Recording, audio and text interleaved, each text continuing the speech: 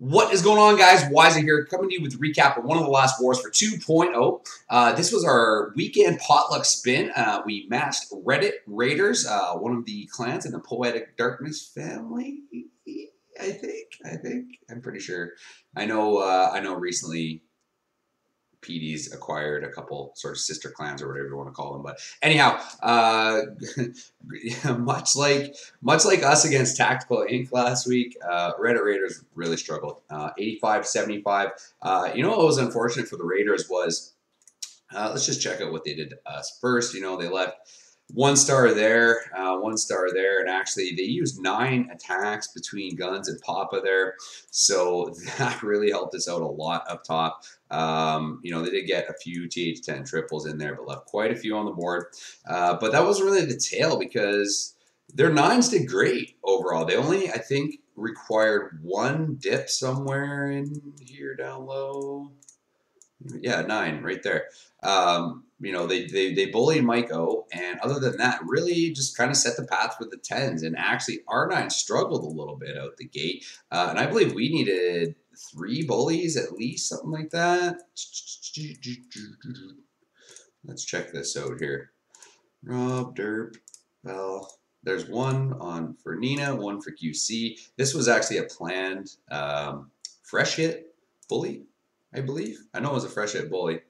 But we did struggle a little bit on the on the nines anyhow. Um, overall. So I would say once the the nine phase was complete, Reddit Raiders was looking pretty good, and you know our tens really came in and stole the show. Our elevens did their thing like they usually do, and uh, you know uh, just swept it on the bullies. And uh, didn't really struggle too much uh, going into the 11s and got those twos fairly quickly. Like Jacob got one there, Ice got one there. Nina got one there, and then we did use Dirty and TU to, to take care of four and five there. I believe these were sort of like semi, maybe triple attempts. Like, look, TU got 94%. They're almost a triple.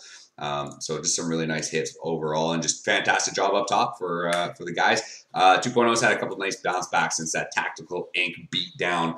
Um, you know, we had a I just showed the recap the random matchup against Cold September, very even random matchup and a one star victory, and then came into the potluck and absolutely just uh, just dominated. So a lot of replays I do want to show. Let's jump right in, going down to Zibatam. Check out number 27 uh, Val. Wanted to show this attack not only because it's my favorite, very uh, exaggerated, segregated queen chamber with an open alley in between, um, but I, I, like the little drag swap Val brings here. Uh, all these air defense are so far away from this queen, right? Dropping a few drags over here is basically going to take care of that whole 9 o'clock section of the map, but he does that actually at the end here. Gets a few little troops around kind of on these buildings and then goes ahead and drops that queen. He's going to walk the queen down towards this town hall, um, take care of all this stuff, basically uh, um, clear out a good funnel into the this core of this section of the base.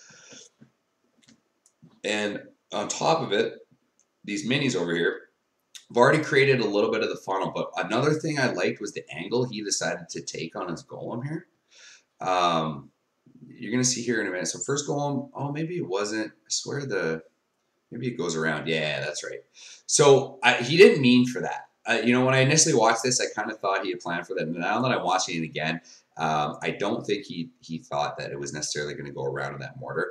But it works out really well because it tanks this cannon, it tanks both wizard towers, leaving these bowlers fairly untouched because everything's going to hop into this core. And until basically the king and these expos lock on, there's nothing attacking the kill squad or the bowlers because everything's everything's focused on the uh, on the golem over here. Finally, the expos lock on, king's going to lock on, but it's okay because the king's in there, poison is down, bowlers are smashing through everything, hits that king ability.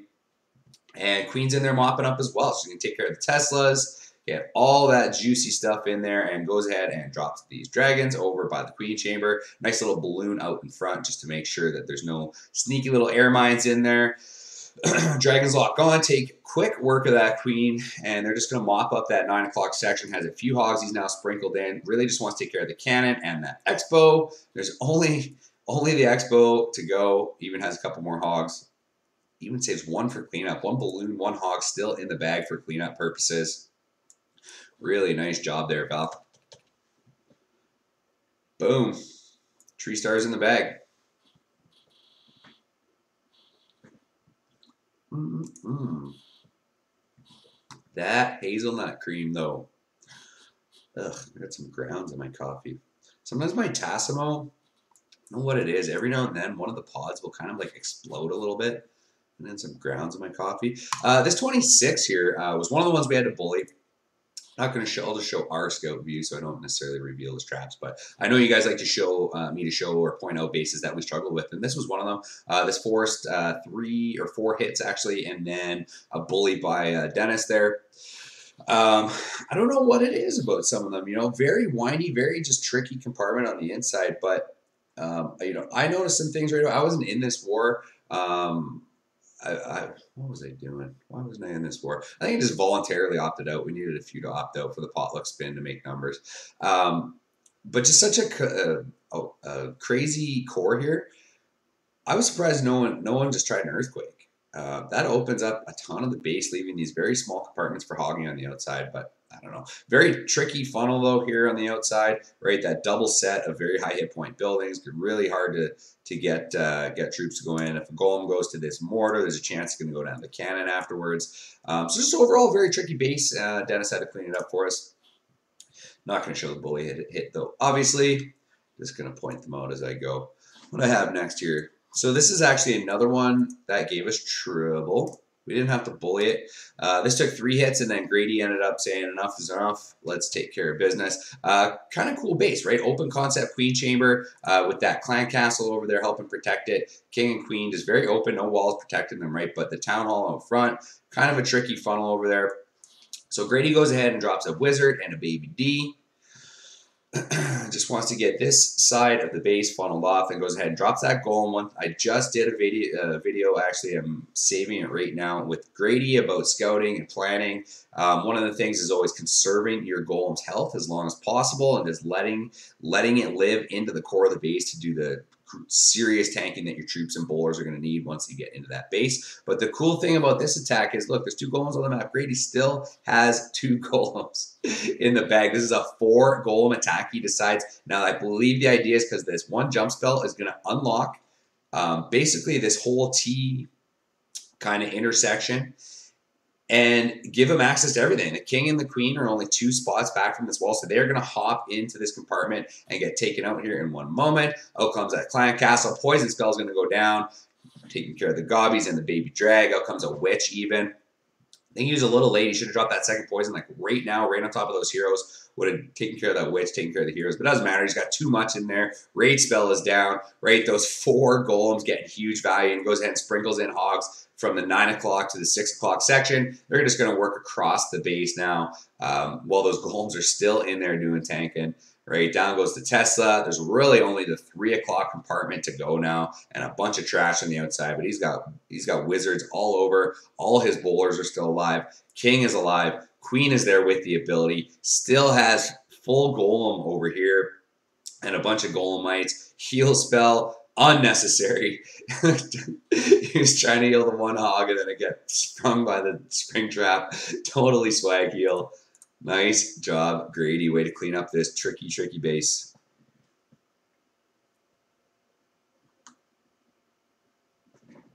Cut blam. Tree stars in the bag. All right, number 20, MBD. Nice six pack this war. MBD just came up uh, from Invicta for us full time. Uh, I believe this is his second war, and he's already logging six packs, so clearly we made a good choice. Um, BD is going to go ahead and just bring a shattered entry here. A little uh, um, shattered uh, Bolo. God, I always struggle saying that attack. Shattered Bolo. I think that's right. That's what I'm saying. That's what it is. That's what I'm saying from now on. Bolo. That's it. You know, hobo or bolo, or or be hobo or lobo. Man, I, give up. Anyhow, rage spell, right? Letting everything just smash through this base. Golem does take a bit of a walk, but it's going to just do a little bit of tanky on the outside. It doesn't matter. He's got the uh, bowlers in there doing their thing. Uh, Pekka comes out, not going to be a huge threat to these troops over here. Locks onto the golem, gets a few swings down. Really just got to make sure that balloon goes down because those uh, balloon smashes can do quite a bit of damage. Down goes the balloon, though. And if you notice, he's now taking care of almost all of the air defense. Uh, he ends up sending in this lava hound number one and sprinkling in balloons all around. But this queen steps up and helps take care of the air defense. So smartly, because this queen did not die, he drops this hound right here, right on this Tesla, and lets the queen just go at it. And while he moves these balloons in, thought this was just absolute genius. The hound does pop here, but now all the balloons are in on top of this queen chamber. He's got pops in there doing work on the queen, just almost have it dead. And then a second hound gets on over. She bursts that one, and the balloon crashes. Take care of the take care of the queen there. Boom! Down she goes. A lot of trash to clean up. Time might have been really close on this one. I should have checked on that, but MBD comes away with a tree star here. Maybe not. His queen's still going at it. Got stuck on a wall there. Good little split on his troops. Bam.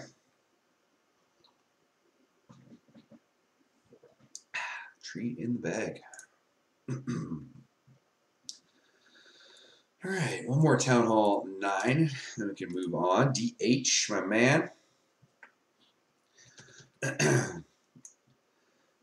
So basically, just bringing a shattered Govaho. Uh, just sort of going old school with. Um, I think he, I think he's got a golem in the CC, not balloons, or not the bowlers. Yeah, he's definitely to have a golem because remember this golem gets roasted pretty quickly from the uh, clan castle troops, but gets the wizards in there helping out, gets the queen in there. They start taking care of things. They're under poison. You see what I mean? The the golem is already into bits. Uh, maybe he did not. Where? Is is Clan Castle going to be? It's got to be bowlers. It's got to be. Got to be, got to be. No, Valks. Valks and a bowler. Three Valks and a bowler. So he drops a bunch more Valks in behind. They're to bust right through this wall. This lab going down would have been ideal because he's got a, gets a few troops to walk here uh, once this Queen Chamber goes down. Doesn't really matter, though.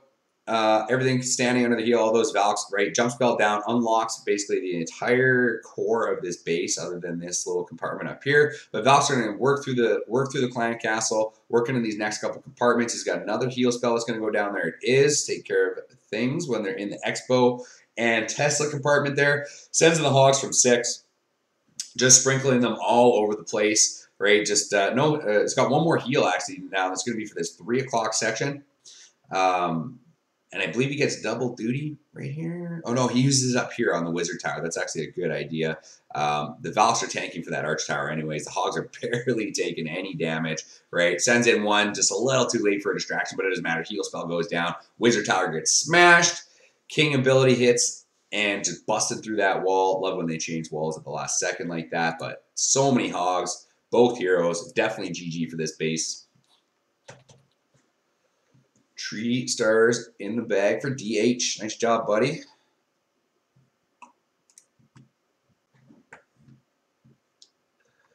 All right, let's check out some Town Hall 10 action. Jacob, going in first. Um, a lot of our trees are, are coming from a very similar comp, very uh, shattered entry, um, sometimes you're bringing max miners, sometimes you're bringing max bowlers, uh, sometimes you'd even bring giants. Uh, but sort of a variation of this with um, anywhere from five to ten bowlers uh, that you're going to send with the kill squad and get your funneling work done. Uh, basically, basically taking place of wizards. Um, you're just keeping them in tighter. You want to make sure they stay protected. And then Myers. And you, the idea here, right? He, he's going to send in these, uh, send in the golems right in at this uh, Inferno Tower chamber. Get a jump spell over to the Queen chamber. Take the Inferno, take the Clan Castle, take the Defensive Queen, and an Expo all at the same time here. See these bowlers kind of walk. They end up because there's so many of them. I believe they end up taking these defenses and kind of getting around this bend but they'll very easily walk if you don't get that funnel down. So that could be a problem, something to think about, guys. See what I mean? He's losing so many of them, but barely takes down this cannon before uh, he loses too many. and then the queen walked as well, um, which I thought was interesting because he sent the miners sort of early to try and prevent that. But the queen went out and walked around, and it ends up working out because the queen does cleanup now around this side. The miners start funneling in towards this Inferno Tower and the king. Just got to smash that king. See how long they take to kill that king? I don't know. That's what always screws me up on my raids when I'm using miners, I find. Another heal spell is to go down here right away. There's all those Teslas in there, right? Miners just got to work through that stuff. They're doing their thing. Man, I swear to God, my miners do not live that long when I'm raiding. I do not. Even when a heal spell's down, I don't get it. I got like 20 miners in those very high um, high DPS cores, and they just get shredded. Mine don't live. My miners don't like me. But Jacob's miners definitely like him because they are smashing through the rest of this base. Although, though the Inferno Tower is left up, it is basically the only building to go. And with whatever 15, 17 miners coming in, doesn't stand a chance. Down goes the Expo, and that's a tree star in the bag for Jacob. Nice job, man.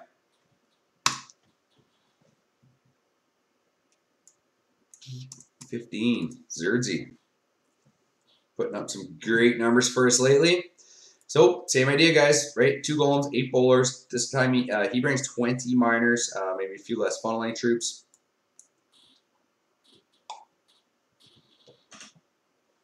Basically the same entry and everything, too, because he's going to go ahead and drop the golems, open up the wall, let things progress into here, drop a jump spell over to the Inferno Tower and Queen Chamber. Basically what I just said for the last attack. Uh, difference here, though, is Zerds gets all of his bowlers ideally going in with his kill squad here, which is absolutely perfect. A couple poisons are going down.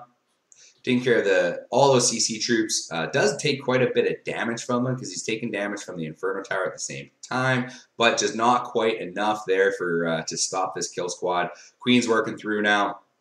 Still has her ability and goes ahead and just basically fans the miners out from um, you know, 2 o'clock to 12 o'clock. Gets to that uh, town hall very, very quickly. The queen was helping out too, so that's always nice. It's uh, it's the worst building for your miners to get stuck on. And heal spell down over this uh, Inferno Tower chamber. Uh, the miners do get stuck up on the skeletons for a moment, but no big deal. There's way too many of them. Down goes that Inferno Tower. So both ITs are now down. He's got two heal spells left uh, and so many miners. So, um, you know, on top of it, bringing 20, he brought seven in his clan castle. So he's got 27 running through this base right now with uh, one more heal now to go. And basically all the high hit point structures are taken care of. Queen in backing things up with her ability still to, still to burn. So absolutely is going to be a tree. Really, there's four arch towers and two cannons, couple mortars. Does not stand a chance goes ahead and drops his cleanup troops around the outside on all that trash that is unprotected. Really only a couple more defenses to go. Bam, bam, bam. Let's pop that queen ability. And that is a tree in the bag for Zerdsy. Beautiful.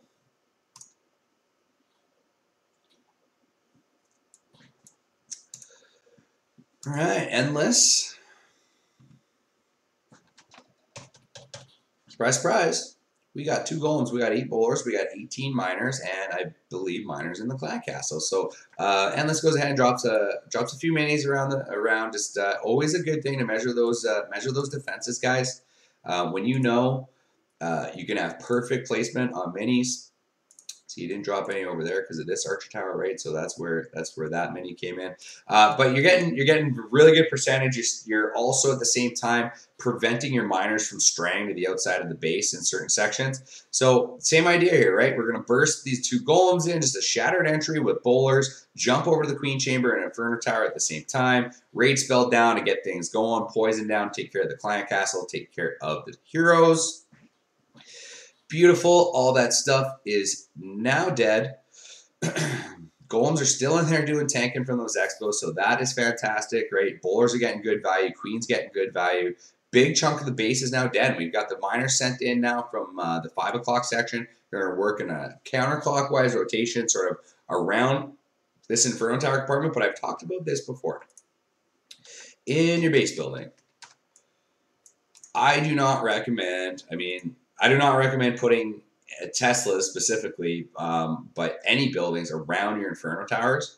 One, because if uh, bowlers are walking by, if there's nothing there, they're not going to target the Inferno Tower. They're going to walk right by it. If that Tesla is there, they're going to stand, walk up to it, and hit the Tesla with the chance of taking the Inferno Tower almost at the same time. Now, on the same token, it's going to draw miners in a lot quicker. Now, these miners you're going to see after, I believe, the Wiz Tower No, because they're going to go to the outside here. Some do go inside. So I know part of it is too because of the skellies, but the Tesla did suck troops into there, right? And got, got the miners right on top of the Inferno Tower. The idea is you want the troops pathing around those chambers without targeting the defense um, to get the best value out of it. Anyhow, just a thought because Endless here is just smashing through. It still has a heal left. There is nothing really that's going to stop this many miners with the heal. It's basically swag. I don't even think he drops it because really there's the Archer Tower, a cannon, a Tesla, and another Archer Tower to go, and there's no chance in hell that this, that is going to stop what he's got left here. believe the Queen. No, Queen's going to step up and take out the Archer Tower just in time. Yep. Down it goes. Swag in the middle. Tree in the bag for Endless. Nice job, buddy.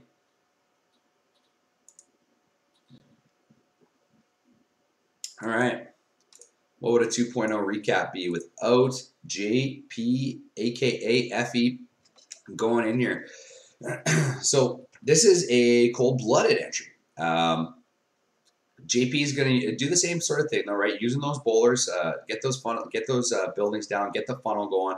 Couple fast miners here on the outside too. I thought that was very interesting. And then, if, then the rest of his miners uh, from nine o'clock. Now those miners are just going to move basically straight from nine to six. Well, the kill squad moves through the, the middle here. And uh, as well, his miners at from 12 are going to go from 12 to 3 and he's just going to try and keep them healed up. Basically, it's almost like just a, a very delayed boner attack. Usually, when I watch like self defense do the boner, it's just like instant four finger drop, with everything. And JP is just a little more methodical about it, I think. Uh, but that's basically it, right? He's getting getting the two pronged action of cleanup, bowlers from 12 to 3, or sorry, uh, miners from 12 to 3, and miners from 9 to 6. And his kill squad straight up the middle. Does lose a few uh, bowlers there to a bomb. Still has that king in there doing tanking. Queen's up there. Still has that ability. She's about to lock onto that other Inferno and help out as well. Just very conservative on that queen ability. Just a beautiful attack, JP. Miner's starting to pit her out, but has just enough left. A few minis on the back end, too. No chance of anything attacking her. Beautiful read on this base, my friend. Bam. Swag ability. And some. And six pack. Nice job there, Fe. Just a beast for us lately. Same idea. Uh, I think this was the one that wasn't quite as clean. Maybe it wasn't. Uh, but our guys are really recognizing when um, these Inferno Tower chambers that are just instantly accessible from the outside. I know that's kind of hard to prevent.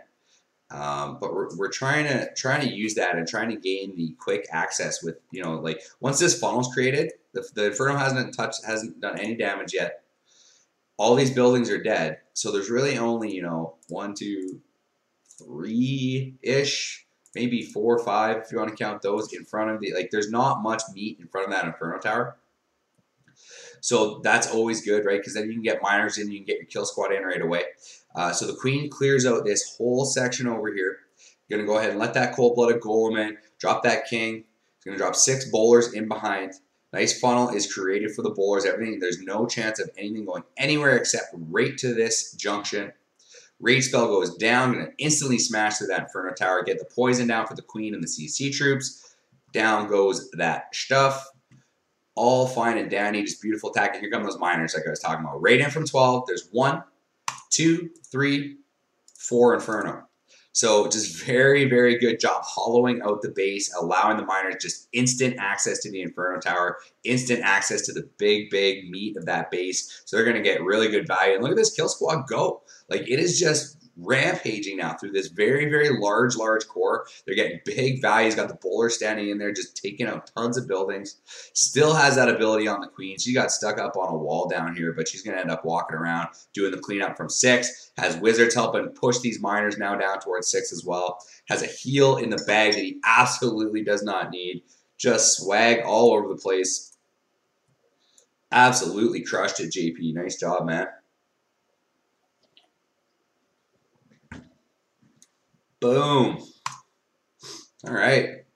Town Hall 10, stealing the show once again. Nice job, guys. Uh, overall, you know, great, great war.